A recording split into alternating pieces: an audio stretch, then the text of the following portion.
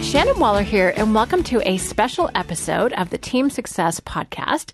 And today I have a repeat visitor, a repeat person that I'm going to talk with, and that is Emily Morgan. And why I really appreciate, Emily, that you come on the call today is because you are an expert in how to work with people who are not physically at your location in what's called a remote workforce. There are so many ins and outs and so many different ways of looking at it and understanding how to make that relationship a successful one is not something that many people know how to do yet.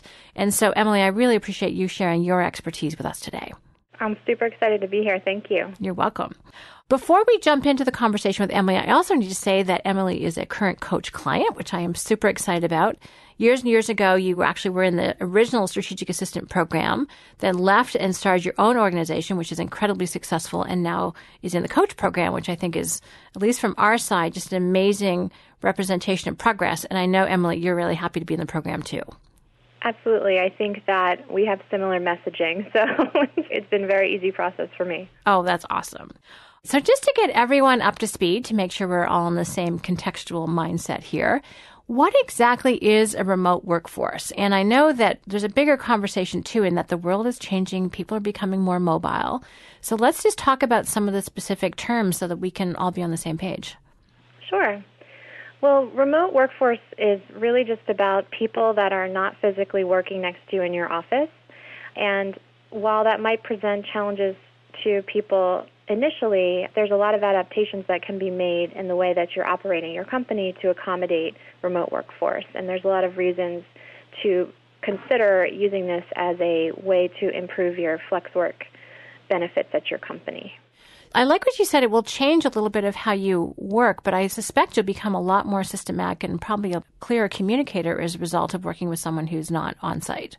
Yeah, I think those are the two key takeaways from re- working with remote support successfully is to really have systems and processes in place that people can easily access and follow and have a system in place to be able to communicate not only just on the day-to-day level but communicate effectively about goals that everyone's collectively trying to achieve.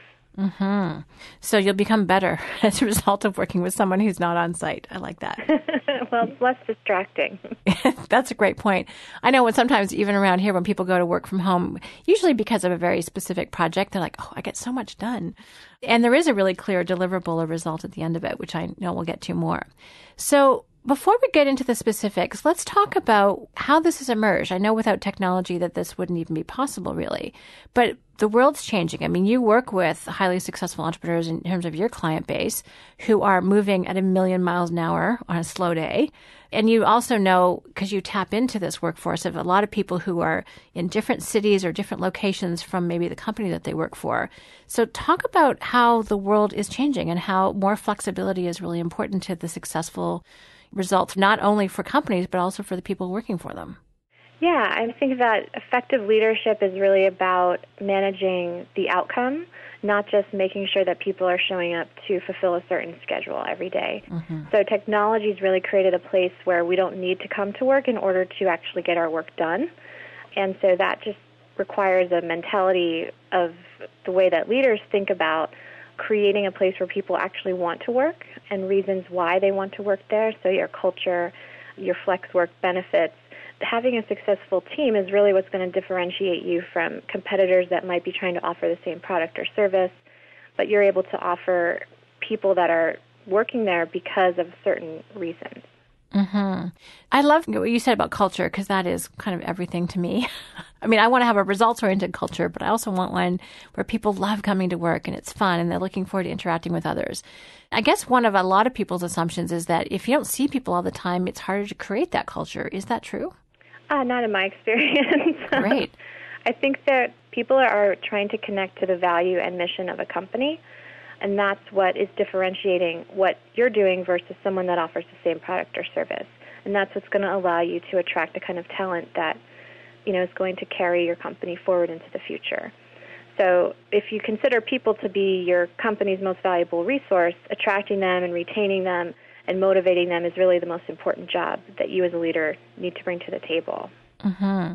I think that's a great point, actually, that if we have a choice of local people who are just looking for a job, or if you can find someone who's in a different location connected remotely, but they're really passionate about what you do and they bring not only their intellect to work, but also their heart, you have a much more engaged workforce just by definition.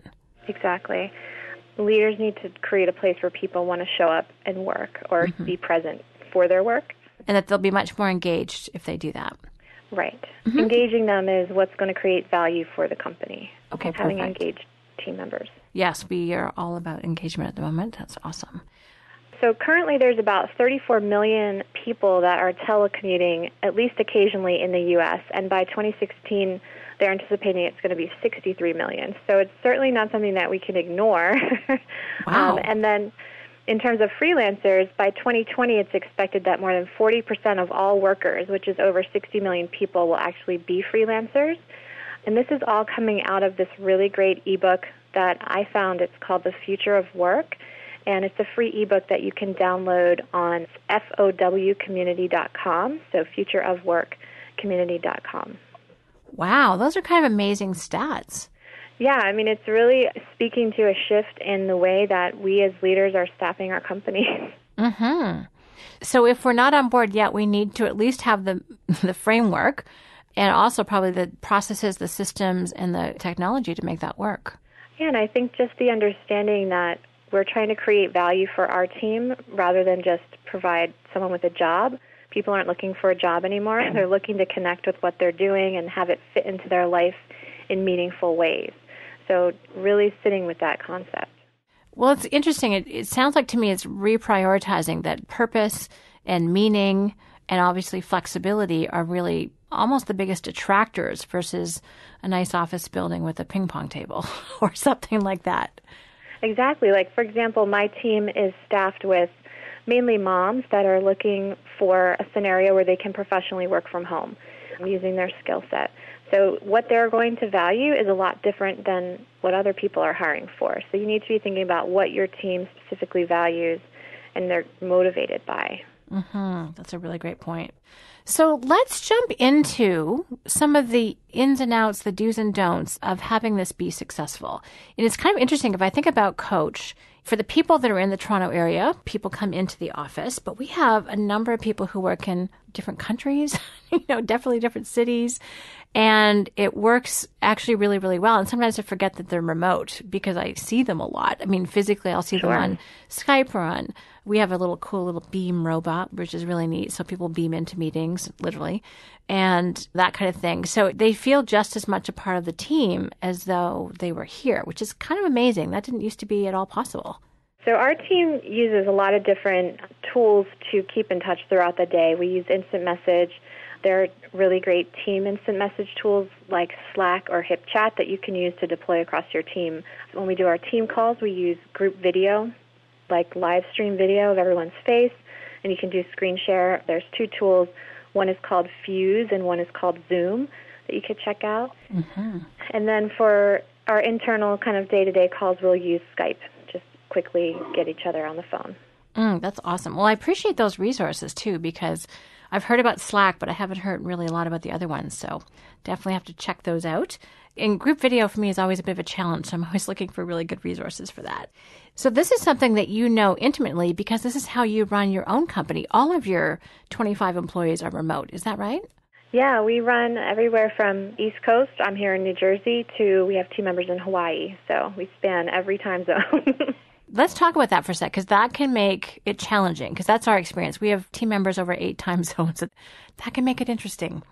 Yeah, well, that's why you set really clear timelines around when the team is expected to be available for calls. When you start working together, you establish criteria around when they're available to work during the day, when you expect to be hearing from them. So you just kind of set all that up from the beginning so all the expectations are clear. Mm, I like that. So, how do you manage a remote team? Because I think aligning on expectations is absolutely essential. But how do you manage people that you don't physically see on a regular basis? well, it's always challenging. Mm-hmm. Before we bring team members to work directly with clients, they're working behind the scenes with our team daily. So they're doing support tasks and activities to support our client facing team members. So we're getting a good experience with them before they're ever touching a client. And they're kind of learning the ropes, and we're kind of making sure that they can operate remotely in a way that we all feel comfortable with. So during that time, they're getting trained as well and going through different modules. From there, once they're working directly with clients, we require that they're checking in with us at least once a week. They have to submit what we call a wrap up. And that wrap up really just talks about the work that was done on the account. And we ask that they create a connection between the work that was done and the work that we said we were going to do. We use something called an action plan, which is a goals focused delegation plan. So they have to tie what they did to that plan every week so that we're kind of creating focus around the activities we said were important. We also use a time tracking tool so we're able to check at any time down to the minute what the person is doing because they have to line item the different tasks. So there's lots of ways that you can do it from an efficiency standpoint and not a micromanagement standpoint. You know, there's also the thing about how do you develop team members and how do they get better at what they're doing? Is there coaching time built in or just the time to get to know people as well? I try to ensure that the team knows each other.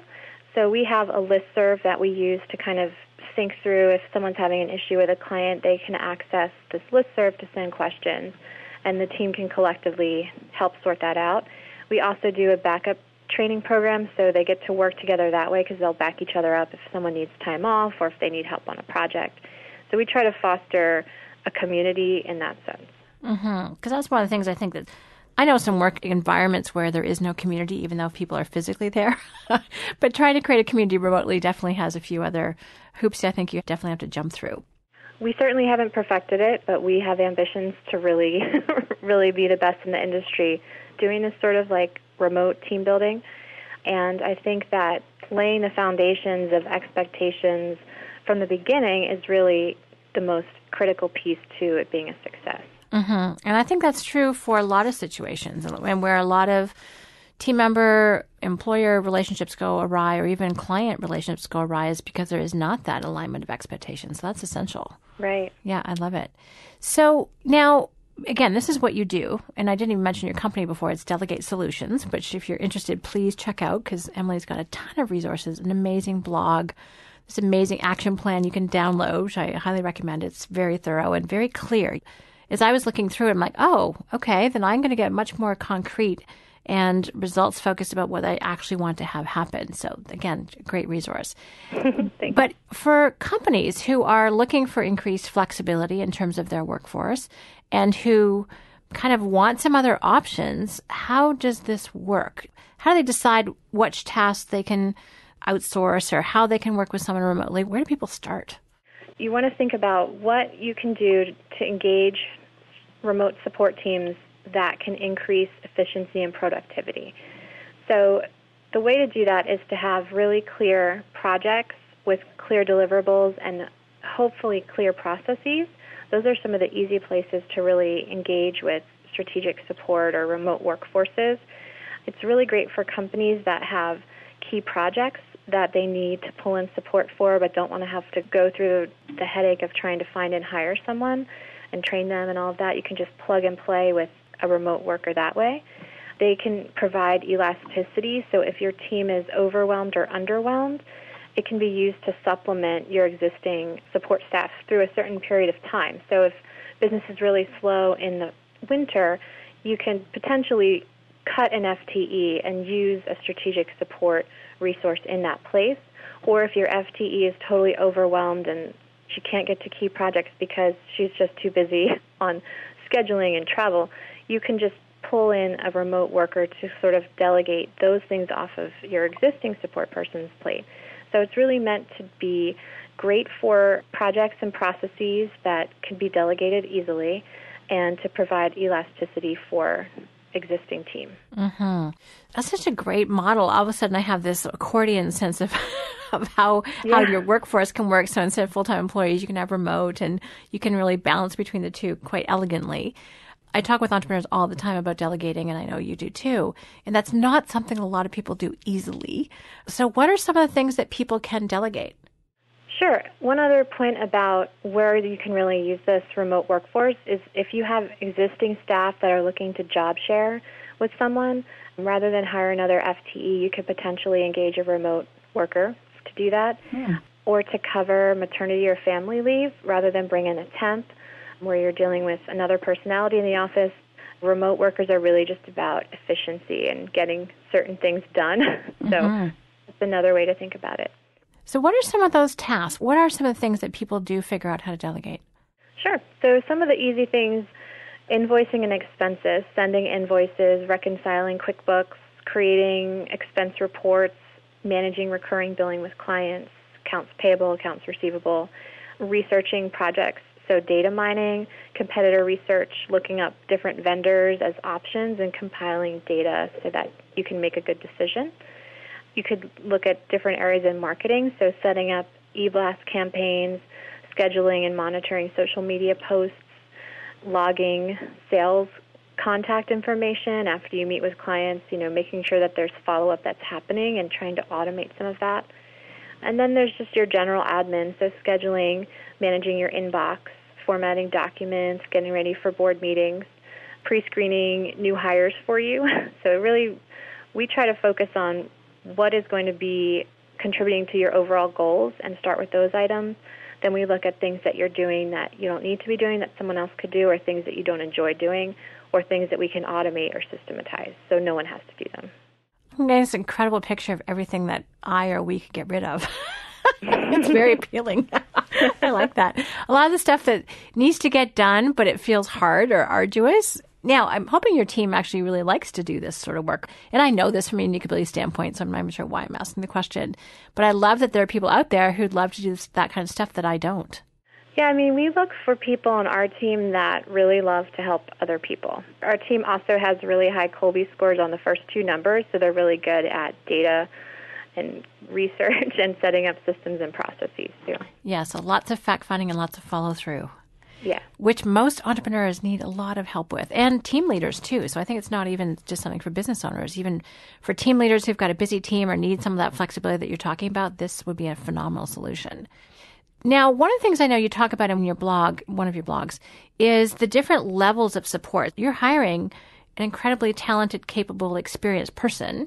That's the kind of remote workforce that you've created. There are some also, I know, other options too I remember years ago, I think I mentioned this in our last interview, and I read Tim Ferriss's four hour work week, and I was like, oh, this is great. And I attempted to hire your man in India. and I couldn't figure out anything for them to do. Right. it was like 20 bucks or 25 bucks. I was like, by the time I would delegate it, I could have had it done, which did make me do a few things. It was just so simple. It was too simple, as a matter of fact, because I needed another brain to figure out what I should be doing. But can you talk about out in the industry? Because there's different levels of expertise or capability that people can try out, or people should just know what the range is. Sure. So I'll talk a little bit about what the things are to consider when you're trying to make this decision, and then briefly what the options are. So you want to think about your level of commitment and how involved you want to be in the process, in the delegation process, like you were mentioning and how much work do you need or want to offload. Then you want to think about the different levels of tasks and access required to manage those tasks. So, how involved are they, and is it a scenario where someone could log in remotely and handle that for you? Is this person going to be interfacing with your team or your clients? There's a culture fit that needs to happen there and a culture training that needs to happen there for that to be smooth and seamless. So, it depends on whether or not they are going to be touching anyone on your team. You want to think about whether or not you have documented processes because one of the easiest things to hand off are some of those rote processes that all businesses have that are just recurring and need to get handled but don't necessarily need any sort of like internal resource managing them. Mm-hmm. Uh, and then think about the volume and frequency. So, does the volume of tasks fluctuate during the month, during the year? Does it need to be handled by the same person each time, or could it be handled by multiple people? And really important is how quickly do you need these things turned around? So, what level of response do you need from a support remote worker? Mm-hmm. Then I would say there's about three different options when it comes to working with remote support. The first is what we call transactional. So, you're basically paying per task, which is what you were describing. there's a company called Fancy Hands that handles this exact sort of scenario where you need flowers ordered or you need a dinner reservation. You're not saying that you need a full time assistant, but you need help with certain tasks. You can reach to them. You don't have any relationship with them. It's all done remotely, and there's no like strategy behind it. It's just simply about delegating a task. The second is what we call the basic or task focused. So this is more involved. It's all done remotely. You usually have a dedicated person working with you, but there's no strategy. They're not really helping you identify tasks or systems or working on anything that's very evolved. It's really just about basic daily administrative work. And then the last grouping is what I would consider our service to be, which is strategic delegation, consulting, and support. So we would do the delegation strategy and design. We'd help you figure out what it is that you're trying to delegate and how to do that successfully. It's also all handled remotely. You have a dedicated assistant plus access to a whole team of others. And we really just look to set up a plan to help execute what it is you're trying to achieve and then work with you daily to make that happen. That's powerful because I know certainly with a lot of people I work with, and you work with coach clients as well, is the strategic part is what's so essential because I know I've got this big plate of stuff. Actually, I've got someone working with me now who's genius and loves to do everything I mm-hmm. don't. She's great. I know you've met her, Nicole. It's so profound, but I didn't know what I didn't know. And I appreciate. I don't think there are very many delegate solutions out there. Are there? I mean, I've heard of Fancy Hands. What's the name of one of the companies that's at that second tier? So it was Zirtual, but they actually shut down pretty much overnight, and then Dang. they got bought and reopened or something. So I was wary to mention them because I'm not quite sure what their structure is currently, but it's a company like Zirtual, or it's your traditional virtual assistant that you would basically find online. Got it. Okay, good. Are there many people that like you that do the? Not that I'm asking you to name your competitors because I'm not, but are there many people out there who take that strategic approach? I don't think so. No, and I think ours has come out of doing it the other ways over the years and just kind of finding that that isn't really what people need in terms of our ideal client. So just evolving what it is that we are already doing into an actual service offering. Mm-hmm. Well, I appreciate that you saw that need out there and addressed the higher level because a lot of people don't go that route. I read some of the great case studies from our clients. It was really fun to see how all of this just comes together and the specific things that they've delegated and the specific things they've freed themselves up for. And I like the story of one of your examples where there was the leadership team that had to get leveraged. Can you talk about that for a moment? Because there are all of these tasks that they were doing, but they weren't actually doing the leading and the strategizing for the company. And I thought that was kind of a fascinating example of how you provide leverage. Yeah, I mean, we really just always start with the question of explain to us what your goals are and what you're trying to achieve. And then what we do is we look at the overall goals and we say, all right, what is the 20% that you specifically need to be doing? Let's make sure that you're focused when we free up your time that you're focused on those activities. And then there's still that 80% of all the different tasks that need to happen to support that goal. And that's what we try to take off of the plate of leadership teams, leaders in general. So tell us a little bit about that team because I love teams of any kind, but I found the improvement that you were able to give them to provide for them was quite a big shift in terms of their productivity, I think.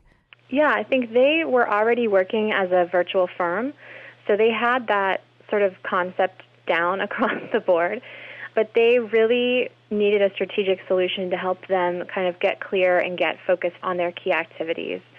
So we did things for them like manage their inbox. For the key leader, we'll do all of his inbox so he doesn't have to worry about it. We would do research for them on conferences that were upcoming, deploy employee surveys so that their team could gauge engagement and interest across the team we actually did some social media training for their team as well, where we did an actual webinar on LinkedIn and helping them sort of deploy a LinkedIn strategy that the whole team can use. So, you know, many, many things that they were able to clear off their plate. And what's clear is that you actually become a part of their team. You're another resource, you're another remote person. Now it's a company with team members as opposed to just one person. But you, it really is that strategic influence rather than just strictly tactical.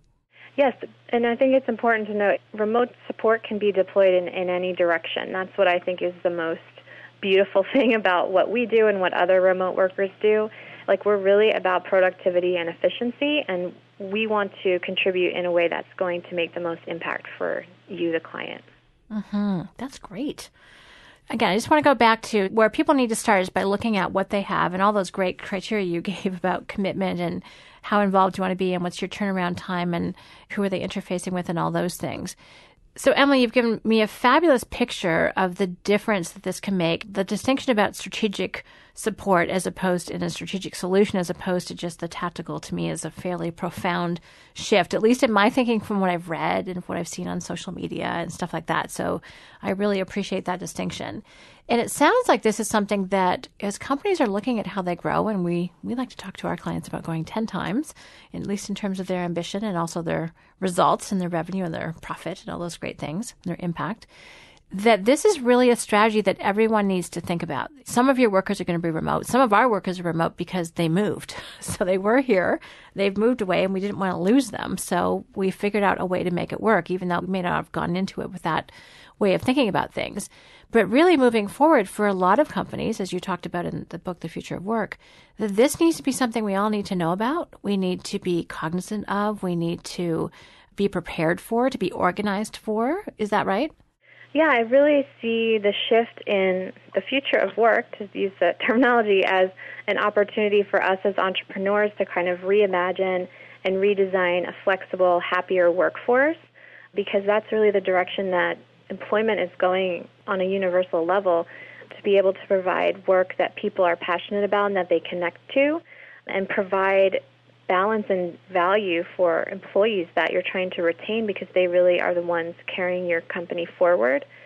And they're looking for ways to balance their life with their work and try and make them work together seamlessly. So, whether you're considering ways to help your team engage some flex work or remote work capabilities, or you're looking to strategically hire remote workers for specific projects, like this is just something that should be considered as a way to grow in the future. Hmm, I really like that. So I have a question to ask you because I know I'm going to get asked this actually. Mm-hmm. Is for people who have a resistance to this, well, some people don't know how to do it. They're just like, mm, I like working with people I can see or touch or hear or be around or who somehow just don't have this mindset yet. What would you say to them or what's a way to kind of make it more normal or more something that is just a part of how we think about work? Well, it could be a baby step approach, but I think shifting your work environment to a results based work environment rather than just a time based work environment is really the mental shift that needs to happen, and it needs to happen for your team as well as yourself. And obviously, the fear comes in because it's giving up some control that you're used to having, control that comes out of a value of seeing someone sitting at a desk for a certain amount of time doing things. So you know, even if you just start to incorporate different elements of remote work, remote workforce, or remote options for your team, as long as you send them out into that sort of like flexible environment with clear parameters and goals and expectations around communication, I think you're making a step in the right direction. Well, that's brilliant because I think you've actually just hit the nail on the head. you know, that if you have a time based mindset, then yes, you want to be able to control. That fear of not having control over people or not knowing what they're doing is really what drives that shift. So I think that's pretty key. And I know for our company, because we are so clear on that we want access to people's thinking and collaboration and creativity, that we want to be able to be with people as much as possible. But I think you'd say that technology you know, good technology is what can make that happen. It's not just that you've delegated the work and there's some automaton, is that the word, at the other end doing it. This is a collaborative, creative person with whom you're working. Right. And I think certainly there's great technology. When I originally hired Joe, who's my ops manager, he's like my right hand. I had envisioned he's going to be sitting here right next to me nine to five each day. And we actually were like, this is not going to work for us. We don't want to do this we don't want to waste time commuting. We'd rather have more time working. So your perspective might change as you go through the process. Mm-hmm. That's great. Awesome. Well, thank you, Emily. I think this, to me, it's expanded my thinking again. so I appreciate mm-hmm. that. And I kind of love that not only is this something that you have come up with as a solution, having tried all sorts of other different approaches, that you've ended up on the strategic solution side, specifically for business owners and team leaders. I think that's kind of profound, but this is how your company is structured as well. You know, if there's anyone who's an expert to talk about it, it's you because you do both on the front stage and the backstage. This is your life. This is what you do. This is how you run things. So I really appreciate the perspective, the tools, the resources. Everyone, please check out delegatesolutions.com. Emily's just always thinking and writing about this and has great tools and very specific direction. You're a very organized, systematic person, so I appreciate that because I can see that in your in your website. And I know I've learned a lot, and that was why I reached out to you at the very beginning, is because I'm like, I knew I needed to talk to someone about virtual workers, and you're it. You're the person who's, to my mind, come at it from the highest level of thinking in terms of what true leverage really is, especially for those of us who can't figure out what to delegate. so I I just really appreciate you taking the time and sharing your input and your perspective, especially about the future. Wow, 2016, 2020, and how many people are just going to be working at least part of the time virtually or, or, remotely. That's a very profound shift in how we do things. And I'd like to be on the front of the curve, not underneath it. or at the front of the wave, not being crushed. So again, thank you for all your insights. Any last things you'd like to share or advice for people as we close out? Thinking about it in a way that is more positive way of thinking about it rather than the fear part. You know, you're able to access talent that by working with remote people that you wouldn't normally be able to access because of location. So think about the value that that could add to your organization. Think about the caliber of people you might be able to attract if you're not looking for an FTE, you're just really looking for a strategic person to accomplish a certain project or goal within your company, you're able to tap into this resource that maybe you couldn't normally afford to hire or bring out to wherever your location is. So there's lots of value to it, not just fear. and I think that's great. And again, I get excited because I think about projects that I might not do because I don't have the resources. And all of a sudden it's like, oh, there's one right in front of me. And that seems like a really exciting possibility. And I know for some people listening, they're like, oh, I could actually do this and I could do that and I could leverage this person. And I think one of the things that a lot of people, and sometimes us included, we don't realize that some people are, as you said, underwhelmed, some people are overwhelmed or underemployed, overemployed. And to have a structure to balance that out, to really kind of add some stop gaps and some ways to smooth it out, I think makes a ton of sense. So again, I feel as always talking to you that my thinking has expanded, my insight has expanded. One of the things we didn't talk about a ton today is just how many technological resources you and your team know. So by all means, again, check out delegatesolutions.com because I'm so impressed by that list. And I like that you're always finding the new stuff, checking it out, seeing if it's worthwhile, if it is, adding it to your repertoire. And I know from one of my close friends who's in the program that you coached his team on how to use one of the big project management tools. Yes, Asana. mm-hmm, which was great. I love that. I love that there's an expert out there who can educate me and make this whole thing better. So thank you, Emily. Great, great talking to you again. And again, thanks for sharing your expertise. And I hope, again, for everyone listening, that you're excited about how you can put in place those capabilities to help you reach your goals. It may be a little bit different than how you've done it in the past or how you were thinking about it, but these opportunities and options are now available. So, Emily, thank you. And I know I'll talk to you again soon. Thanks, Shannon. Great. Thank you very much for listening. I hope you've enjoyed this episode with Emily Morgan of Delegate Solutions on how to really make it work with remote workers and also the future of work and how things will be changing. So if you have any questions or comments, please let us know at questions at strategiccoach.com. And as always, here's to your team success. Hi, Shannon here, and thank you very much for listening. If you like what you heard today, please take a moment to rate the Team Success podcast on iTunes. And we'd love it if you'd share the podcast with anyone else who could benefit. If you're interested in learning more about the Strategic Coach program for entrepreneurs, visit us at strategiccoach.com or the Strategic Coach channel on YouTube. For free downloads and more team success strategies, visit teamsuccesshandbook.com.